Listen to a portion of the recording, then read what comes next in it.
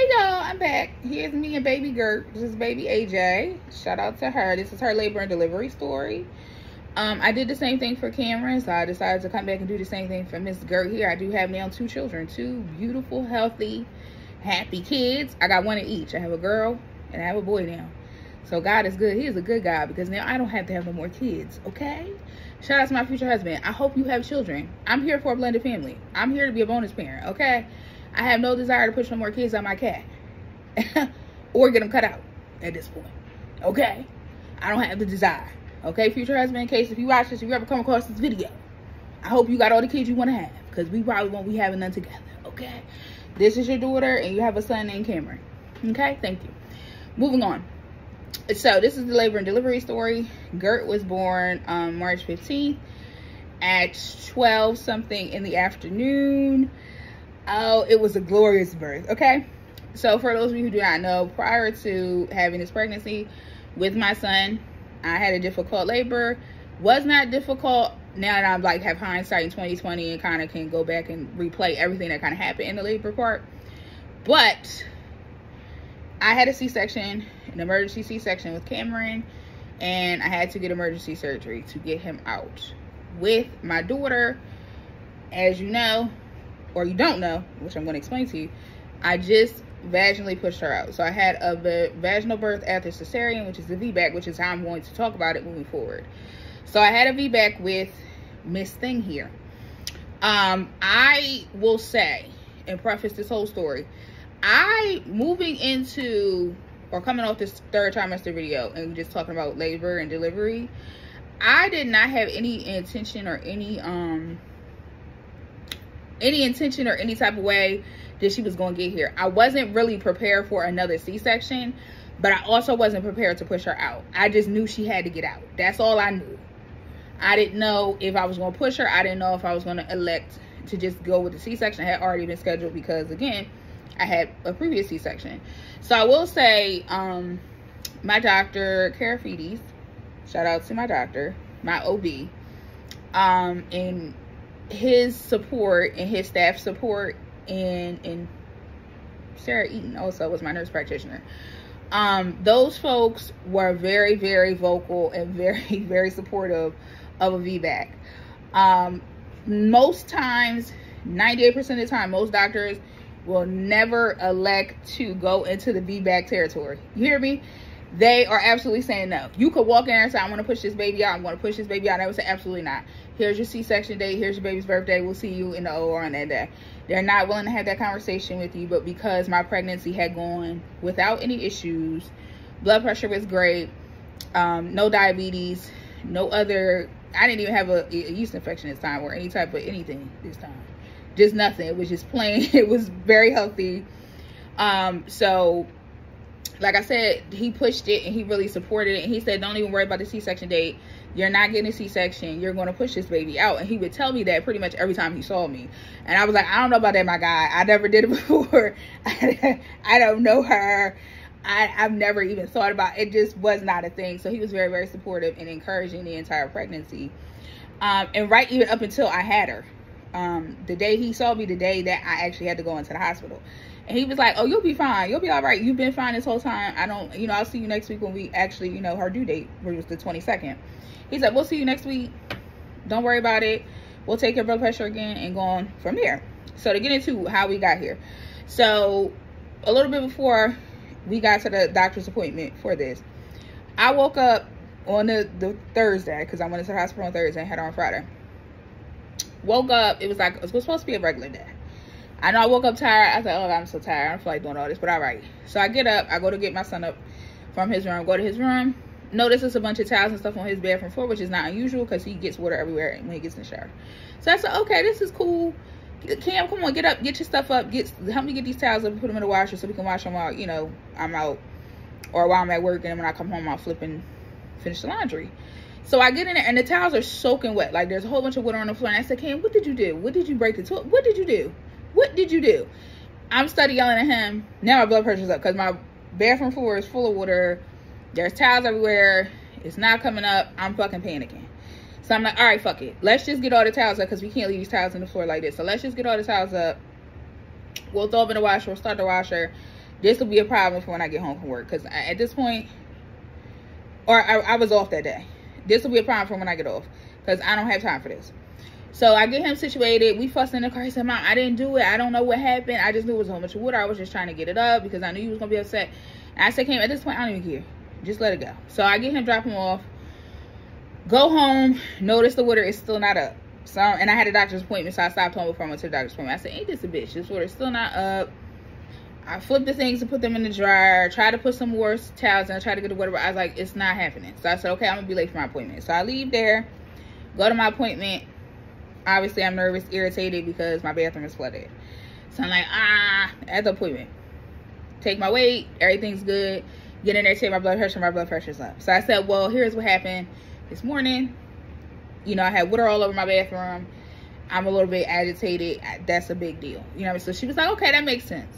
So was elevated. He goes and he checks me, finds her heartbeat. Her heartbeat is perfectly fine. She's in there chilling, living her best life as she did the entire fucking pregnancy. So I said, okay. So he said, well, I noticed that they said it was elevated. Less, you know, you waited. They took it again. It was still elevated. Waited a little bit more. Gave me some water. It was still elevated. So they was like, listen, your blood pressure is not coming down. It's too high for us. Straight to the emergency room. So obviously, I don't go straight to the emergency room. You know what Koren did. Because Koren is a single mom. I go get Cameron from school. Because I don't know what they're going to say when I go to the emergency room. I do feel a little bit off. I ain't going to hold you. I know my blood pressure was up because I did feel a little bit just like tight and just like, I didn't feel myself. So I was like, yeah, I guess I do have to go to the hospital. So I went and grabbed Cameron, went home, grabbed our bags, the hospital bags. Because I had a dream the night before and it was like, get put the bags in the car. And I said, put why am I put the bags in the car? I'm not having no baby. I'm going to work tomorrow. The fuck? The whole time they told me last night she was she was coming. they told me the night before she was coming. And I said, no, she not. She did. She ain't coming here. So I went home, let him pack a little bit, you know, bag of his stuff that he wanted, um, in case I didn't come home and I had to stay overnight. Um, so we did that. I dropped him off at my mom's, went to the store, um, and then I proceeded to the emergency room by myself. Um, so I went to the emergency room and I was like, it'll be fine. I left the bags in the car because I was like, for one, it'll be fine. No stress, you know. So I get in there and it's still a little elevated, but they're like, this is not really as that high, but because it is a little elevated, we're going to monitor you to see if it, you know, naturally kind of decreases and comes down. So I get back in there, they're monitoring me. They got the monitor on her. Um, she's doing well. She's not dipping or anything. Heart rate is good. However, my blood pressure was still up a little bit and then eventually it leveled off. You know, once I got there and was relaxed and was back there by myself just chilling, it went down and it was fine. So they were like, well, okay, well, it's fine. It wasn't really that high, but now that it's been kind of diagnosed as, you know, high blood pressure with pregnancy, um, we really think we should get the baby out. So I said, well, if the blood pressure is in, why we got to get the baby out? why can't we leave her in there? They didn't want to leave her in there because they just, they were worried that it would spike back up. So I was talking to the resident on staff and she was like, listen, because you have it, you look tired, you ready for her to come out anyway.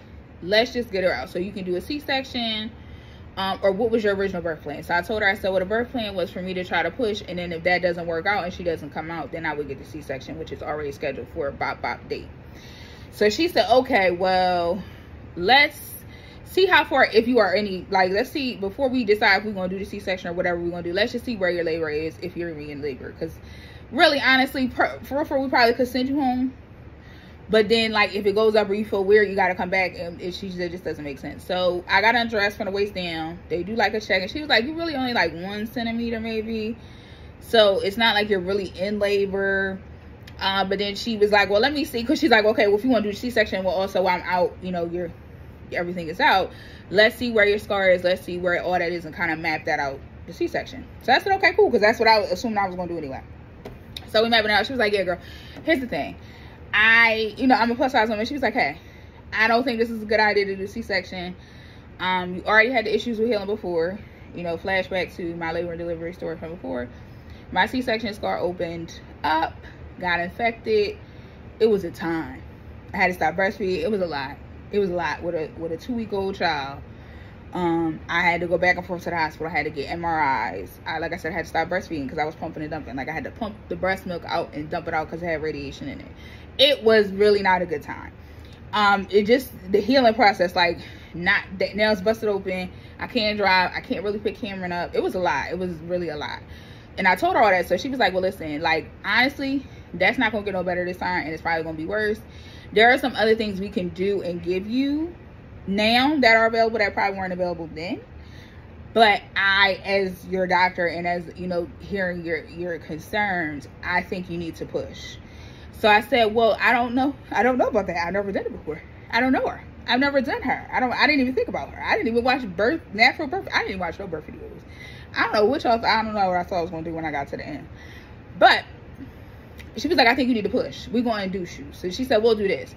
We'll start an induction, see how far you get. Because I told her, I said, the reason why we got a C-section the first time was because after I got to like four, three or four centimeters, labor stopped. My son was having a hard time.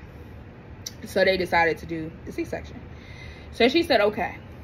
Well, here's the thing. We'll we'll try to induce you, see how far you can get. We'll put this balloon in, um, which I've never had, didn't have for Cameron either, because I was only one centimeter when I went in that afternoon. She said, listen, we'll put the balloon in. We'll get you set up upstairs. We'll see if the balloon can get you to three. Once we get to three, we'll start Pitocin. Once the Pitocin starts, and we'll see how far we can get you with the Pitocin. If we get the Pitocin on you and you stop at four or five, and that's where you go with the Pitocin, then we'll proceed on with the C-section. But if the Pitocin works properly and you do get to 10, then you'll just push. So I said, okay, I was agreeable to that. Um, which was fine. So I get moved upstairs. My best friend comes and sits with me all night. Shout out to my best friend Nakia. Let me tell you something. It my best friends, the best friends that I got, they lit for real. So my best friend, she came and sat with me all night. Um, the balloon worked very quickly. It didn't take long. Um, I think I got it in. That was at work. That that was terrible. Okay, I don't really. It was terrible. That's all I'm gonna say. Getting that balloon was terrible. So they put the balloon in and it was only in for like maybe two hours and I started feeling sick and I was like I really don't feel good like I feel like I'm on empowerment I just feel sick so she was like okay well let me check it because if I could pull it out then we'll just take it out if it's making you feel sick so she checked checked it literally just pulled it and it came right out. So I was at three. So then they started the Pitocin. The at first I didn't really feel I was like this shit ain't working. Ain't nothing going on. And then you know they increased it over time. Then they had to stop it for a while because little chicken nugget here her heart rate was dropping. So they're like well let's back off of it because maybe stressing her out too much. Then they ramped it back up. And then by 6 a.m., nothing really had happened. Um, they were still doing the Pitocin. I wasn't really contracting as much, but I was just like kind of like whatever. So I told my best friend, I was like, look, you've been here all night. You've been here since yesterday. The Pitocin ain't doing nothing. I mean, I had, I think I was at four or five centimeters at that point, or maybe four. And I was like, hey girl, it's only been one centimeter since we started the Pitocin. You can go ahead home, get a shower, eat, do whatever you want to do, work, whatever you got to do. And you can just come back in the afternoon because I probably won't, if anything happens, it's probably not to be till the afternoon when we get the C-section or whatever. So she leaves. this is where it goes very quickly. So she leaves and I try to go to sleep. They give me some Benadryl. They give me things to go to sleep. So I go to sleep for maybe an hour or two. And I'm just like, all right, this is starting to get a little aggressive it started, the pain started to get a little bit much. It wasn't really pain, it was pressure. It was a lot, a lot of pressure because I had had epidural at this point. So I got the epidural. Once I got the epidural, it was more like, okay, it was tolerable. I kind of went back to sleep for a little bit. Then, I don't know what happened with the epidural baby. I don't know if she wore off on me or something. But I just started feeling a lot of pressure, a lot of pressure. I was like, okay, this ain't it. I, I felt uncomfortable. I done twisted myself down in the bed so like I couldn't reach my help button. So I'm like literally writhing in pain. Trying to get to the help button. Like somebody please come help me. Come get this epidural going again. So I'm crying and crying and crying. My mom called me. So I'm on the phone with her crying. I said, I don't think I can do this. I think I'm about to die. Like I feel like I'm about to die. And she was like, oh my God, somebody help my baby. Because my mom, obviously, she just had these surgery, so she could not be there and she had to watch Cameron. So I'm sitting there, I'm like, oh my God, I'm about to die. So I hang up the phone on her. Maybe five minutes later, I'm cry like crying. Like I'm in there, me and God is having a conversation. Because I said, I'm about to come meet you. And, I, and we're going to fight because you took me for my babies. But, you know, I'm crying, I'm praying. I'm like, please God, somebody come help me, please. Because I cannot, like, this is crazy, right? So she, I guess she heard me. I was crying, like really screaming and crying. So she came in there. I guess she heard me walk past and heard me crying and screaming. So she came in there. She's like, "Oh my God, are you like, what's going?" on? I said, "I need something for pain. I need something for it's hurt. Like I'm in pain." So she's like, "Okay, well, let me check you to make sure you know that that you're okay. So she said, let me check you, let me check you. And I said, I feel like I gotta push. She was like, oh no, don't push, on, let me check you. So she gets me situated some kind of way where she could check me. She was like, well, I don't feel like it's not, it's not time yet. Don't push, don't push, don't push. And my body naturally, like when they say like your body knows what to do when it's time, whether it's induced or it's regular time, like your, your body knows. Like, cause I was pushing, like I had pushed before she came in there. So she told me not to push. She said, hold on, hold on, let me go get the doctor. So she pushed, she went and I felt it again. So I tried it again while she was going. The doctor came in, she checked me again. So they get all this stuff. That she's like, oh no, you at 10. That baby's coming out. I can see the head, like the baby's coming out. And I was like, oh shit. okay. So they get me situated. Um, the baby put comes out in three pushes. Um, two regular pushes and a long push. And she slid right on out, baby. Let me tell you, that uh okra water, that raspberry tea, if you want to push, start drinking it. Um, so we pushed her out. No issues.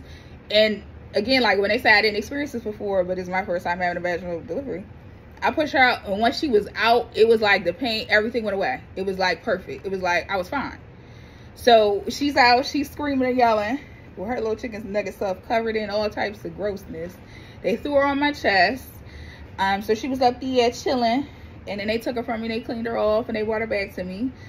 Um, I don't know what they did. I wanted her uh, cord to be clamped as long as it could be. I didn't really necessarily unclamp. But I didn't want her to be cut or whatever situation is. So I think they kept on her for a little bit. And um, they cleaned her off and they gave her back to me. And she's been chilling ever since. I did try to breastfeed when she came out. But going into that, this is to be a long video going into that, I had breast reduction surgery in 2021. So I got all this this taken down. Thank God. God is good. He's a good guy. He's an awesome God. Okay. okay. So at the time when I got the surgery, typically you would let your surgeon know, hey, I want to breastfeed, so they know how to kind of proceed with what to take, what not to take, what to disturb, what to do. I at the time had no desire to have any more children. I Cameron was the if for me. You know, Cameron was the the only Mohican he was gonna be the last Mohican, okay, if I had anything to do with it. But God had other plans. So now we got the last of the Mohicans, which is Aiden, which is her first name. Um, so AJ came, so I didn't think I was gonna need to breastfeed anymore. So I didn't care what he does. I don't care what you do with them. As long as them motherfuckers is not the size that they was when I got off this table, I don't care what you do. So I was not sure if I was gonna be able to breastfeed. And it had comes out true. I'm not able to breastfeed. Um, I have tried. I did put her on when I was in hospital.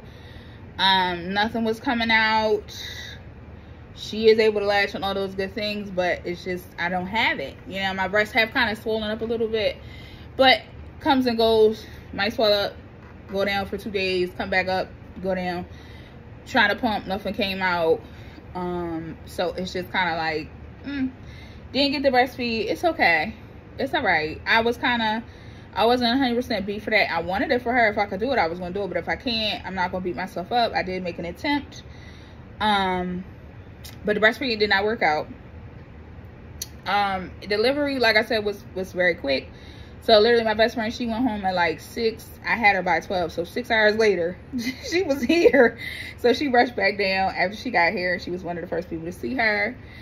Um, and love on her because that's her niece and she love her um but i really appreciate her support even laying with me the night before and just hanging out and just being somebody to be there because i'm not that girl i would have did it by myself i did i technically did do it by myself but i would have sat there that whole night by myself i would have been in labor by myself um i just feel like those moments i like to keep to myself but it's all right because i have support so she was there um when we went when, when i had her her grandmother came her brother came her uncle came. Shout out to Uncle Stephen. He another real one. Um, he came and saw her immediately. Um, Stephen is a is a real one.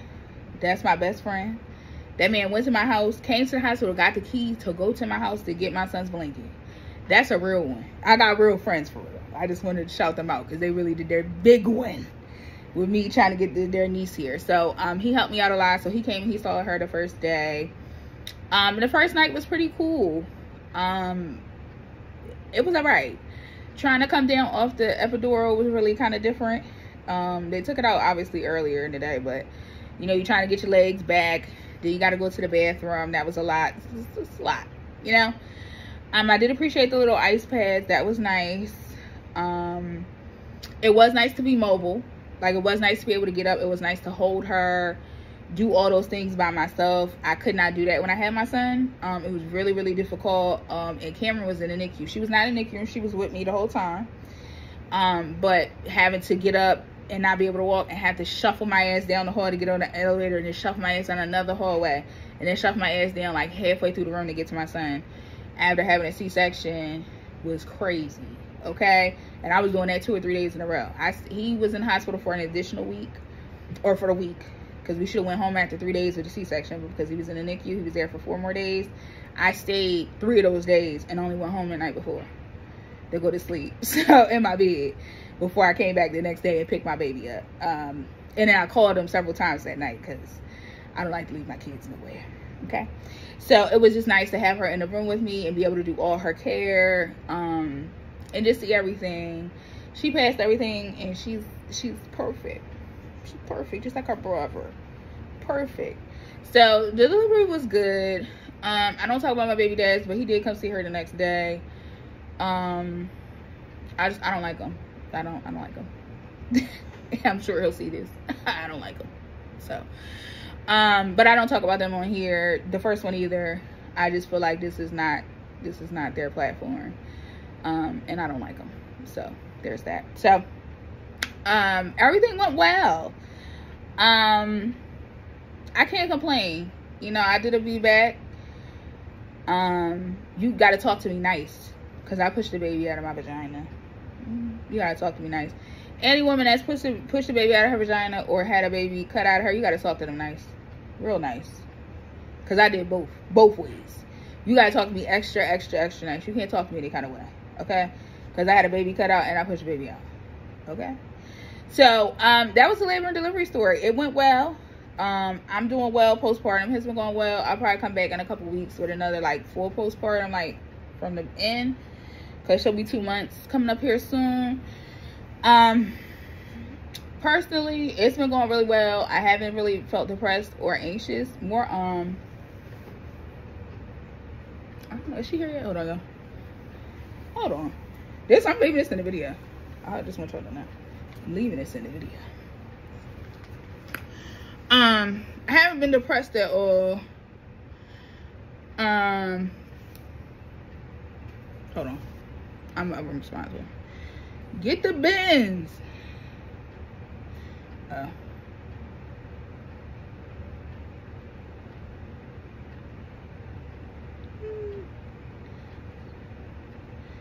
I'm gonna do this in the video. I'm not gonna edit this. I just wanted to respond to her.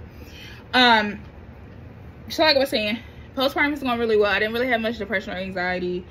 Um, once I had my daughter, everything changed. I went kind of back to my original person and I'm a very like chill, relaxed, laid back person.